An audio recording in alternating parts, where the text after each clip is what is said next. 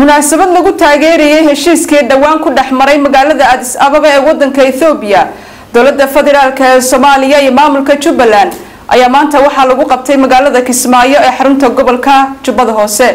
Jaamac joofane ayaa faahfaahinta warkan. Waxa uu ka soo diray magaalada kismaayo. Wixii ka dambeeyey saxiixii heshiiskii ay magaalada adis ababa ku wada gaareen dowladda federaalka soomaaliya iyo maamulka jubbaland ayaa waxaa magaalada kismaayo xarunta gobolka jubbada hoose ka socday. Dabaaldegyo iyo munaasabado lagu soo dhaweynayo heshiiska labada dhinac. Waxaa gudaha iyo daafaha magaalada laga maqlayay rasaas fara badan oo ay ridayeen ciidamada iyadoo sidoo kalena inta badan waddooyinka magaalada lagu arkayay gawaari lagu dhajiyey sawirka madaxweynaha soomaaliya xasan sheekh maxamuud iyo madaxweynaha iyo ku-xigeenka maamulka jubbaland xarunta jaamacadda kismaayo oo ahayd halkii lagu dhisay maamulka ayaa waxaa maanta lagu qabtay munaasabad ballaaran oo heshiiska lagu soo dhaweynayay munaasabadda waxaa ka soo qaybgalay mas'uuliyiin ay ka mid yihiin kusimaha madaxweynaha jubbaland macalin maxamed ibraahim xildhibaan cabdirashiid maxamed xidig in ka badan shan boqol oo ah ergada soo dhistay maamulka iyo marti sharaf kale. Kusimaha madaxweynaha jubbaland macalin maxamed ibraahim oo kulanka ka hadlay ayaa waxa uu shaaciyey in jubbaland ay gaartay guul ay muddo ku tahmaysay maadaama la dhammeeyay khilaafkii kala dhexeeyay dowladda dhexe ee dalka islamarkaana loo aqoonsaday maamul goboleed ka jira soomaaliya. Waxaan doonayaa iyo duco in loo diro madaxweynaha soomaaliya xasan sheekh maxamuud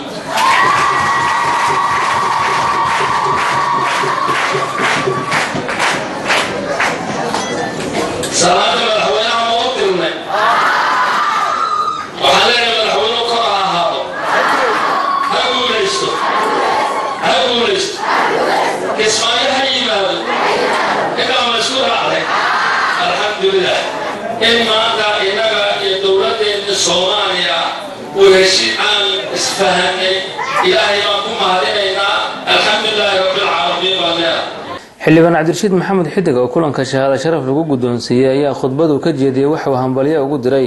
Guud ahaanba ummadda soomaaliyeed isagoo madasha ka shaaciyey salaan uu ka waday madaxda sare ee dowladda federaalk ee soomaaliya.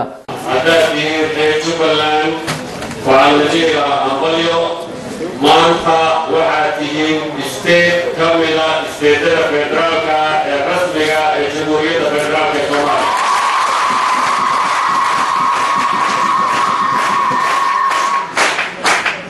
Intaa kadib waxaan jeclahay inaan idiin soo gudbiyo fariin salaan hambalyo iyo tahniyad uu idiin soo gudbinayo madaxweynaheena mudane xasan sheekh maxamuud dhanka kale kusimaha madaxweynaha jubbaland macalin maxamed ibraahim ayaa ergada waxa uu ka codsaday inay saddex qodob wax ka bedelaan kuwaasi oo kale ahaa in tirada madaxweyne ku-xigeenada laga dhigo saddex halka markii hore ay ka ahaayeen labo. In tirada golaha wasiirada laga dhigay shan iyo toban halka markii hore ay ka ahaayeen toban. Iyo in muddo soddon cisho ah lagu daro muddada uu madaxweynuhu ku soo dhisaya qeybaha ka harsan maamulka.